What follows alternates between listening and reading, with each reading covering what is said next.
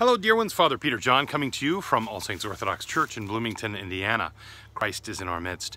The gospel reading for tomorrow morning is uh, Luke chapter 9, where Jesus sends his disciples out and he, he tells them to go and proclaim preach the kingdom of God and to heal.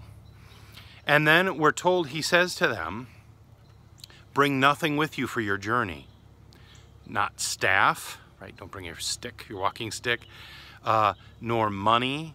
Don't bring a bag with provisions in it.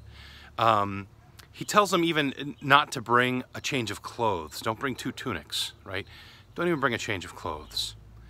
He tells them to go forth and preach the good news, basically trusting in God for everything, right? Now, what does this mean for us? I mean, it, it, sounds a little bit radical if you think about it, but there's a reason that Jesus is saying this to the disciples. He wants them to know that He is enough.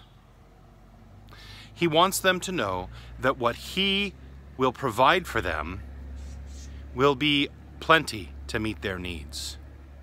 And of course, that's exactly what happened, right? They went and they preached and they healed and they were um, astonished by the power of God working through them.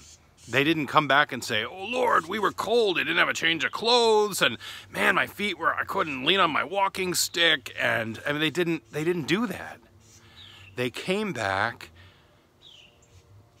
convinced of the, the grace and mercy and power of God.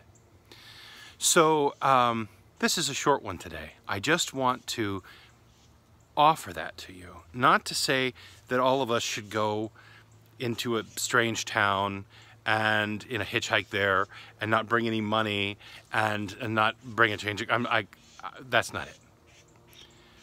But whatever it is that God is calling us to, He is saying to us, I am enough.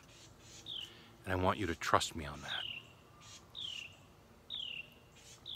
So, brothers and sisters, whatever it is that you find yourself in right now, called to, uh, perhaps plopped down in the middle of, you know, even it could be our uh, circumstances as a country right now, the election season, whatever it is that is before us, Jesus is saying to us today, saying to you and to me, I am enough.